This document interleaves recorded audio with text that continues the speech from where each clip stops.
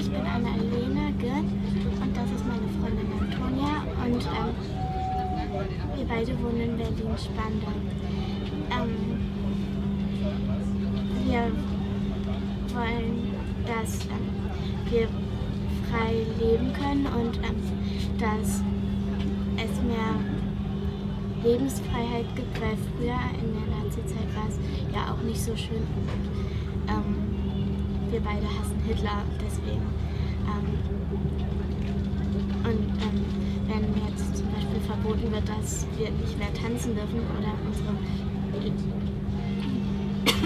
Lieblingsmusik nicht mehr gespielt wird, ähm, dann würde ich schon sehr traurig sein und dagegen kämpfen.